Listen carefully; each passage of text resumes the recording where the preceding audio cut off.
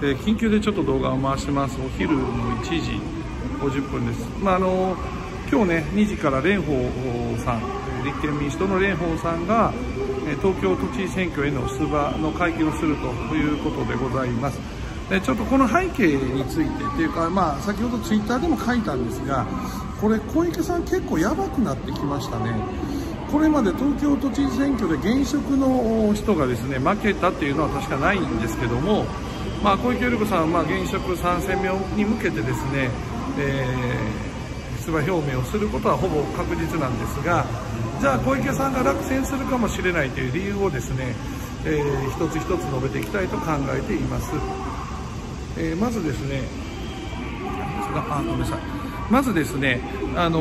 小池百合子さんが、まあ、8年前4年前に選挙を勝ってるのは自民党と戦う女性という印象が強かったわけですね。から自民党が嫌いな人も小池百合子さんに入れた。少なくとも8年前は自民党の公認候補者が立ったわけですよね。増田さんとして立ちましたと。だから自民党を改革してくれるんじゃないかっていうのがあって小池さんに入れた方も多かったのかなと。で、えー、まあ、二階さんが今実質ですね岸田総理に、えー、無力化されてしまいまして二階さん小池さんの後ろ盾の二階さんがま追い落とされたというところもあってですね。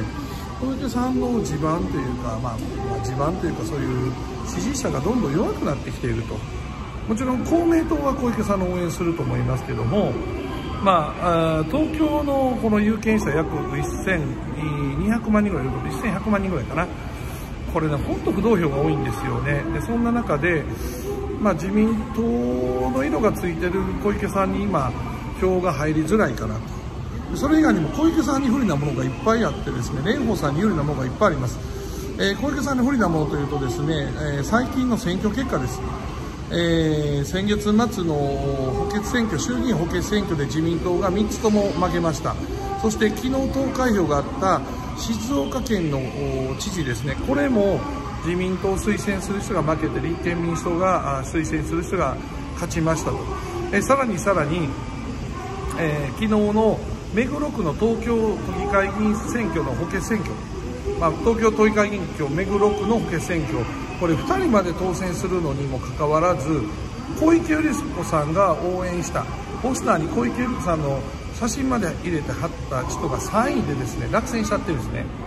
まあ、つまり、まあ、東京都で小池さんの人気っていうのはかなり押してきてると、まあ、もちろんね乙武さんが前回あれ5位でしたかね、えーつまりですね東京15区の選挙を見てもらえば分かるんですが立憲民主党公認の、えー、人ですね若え酒井さんが5万票ぐらい取って2位が実は須藤元気さんなんですね。須藤元気さんというのはれいわ新選組が応援していた。無所属ですけどれいわ新選組が応援した。ということはワンツーフィニッシュれいわ新選組と立憲民主党という形になっています、まあ、左という俗に言う左ですよね。でですね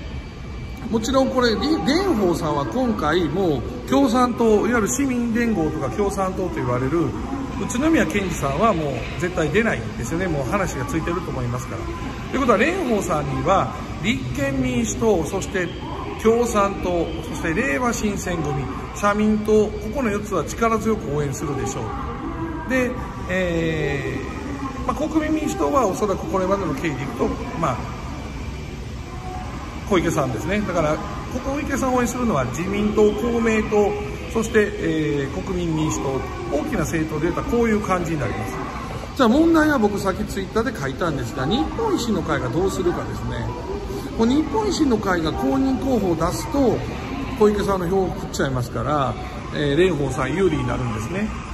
だから僕は今回の選挙今の段階では日本維新の会が公認候補を出せばそれは蓮舫さんが勝つ。日本維新の会が小池さんを応援するあるいは候補者を出さずに陰で小池さんを応援すれば僕は小池さんが勝つと思います。それ以外にもですねおそらく百田さんのところの日本保守党が候補者をですね、えー、出してくるでしょう、まあ、出さないとむしろ百田さんのところは今、ね、人気を上げていく知名度を上げていくところなんでそうすると日本保守党の候補者が出れば蓮舫さんの票を食うことはなくても小池百合子さんの票を食うと、まあ、つまり左側のですね社民党、立憲民主党、えー、そして、えー、れいわ新選組、共産党、ここの4つは思いっきり蓮舫さんに組織法をまとめてくると。で不動票もかなり小池さんに対して今、自民党の小池百合子っていうイメージがついてるので、不動票も蓮舫さんに流れやすい。だからあとは自民党、公明党、そして、えー、都民ファーストの会か、この辺の組織票が小池さんにもちろん入っていくんでしょうけども、不動票はかなり蓮舫さんに流れていくと。まあ、もちろん現職ですから、いろいろな補助金配ってたりとかいうところは小池さんを応援するということになると思いますので、これね、僕は接戦が期待されると思います。えー、要は変に山本太郎さんとこの令和新選組の公認候補者が出たりすると、蓮舫さん勝てない。